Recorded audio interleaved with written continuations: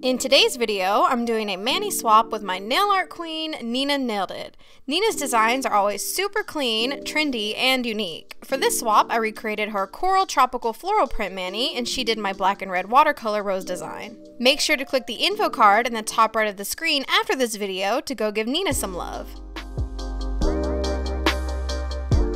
To begin the design, I started with two coats of a very light orange color.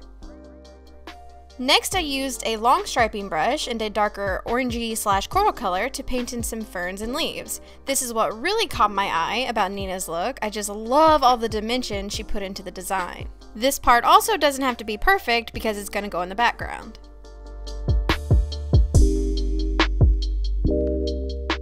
Now I'm going in with white paint and putting in the base for the foreground plant. Again, I'm adding some ferns, leaves, and flowers here and there.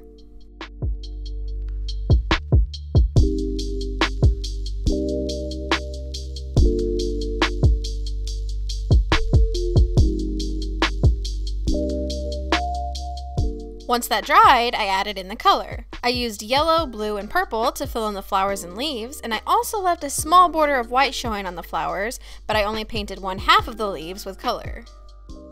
After that, I'm going in with black paint and adding some more detail. For the fern type plant, I shifted the position of the black details to add dimension.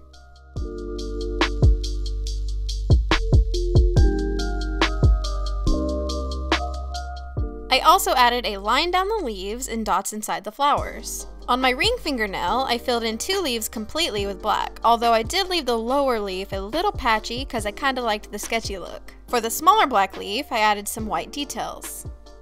And to finish the design, I added a couple dots here and there just to fill out the pattern a little more. I cleaned up around my nails with a wooden stick and nail polish remover, then I added a matte top coat, and that's it! Make sure you go check out Nina's video and channel by clicking the info card or checking below in the description. And if you recreate this look, don't forget to tag us.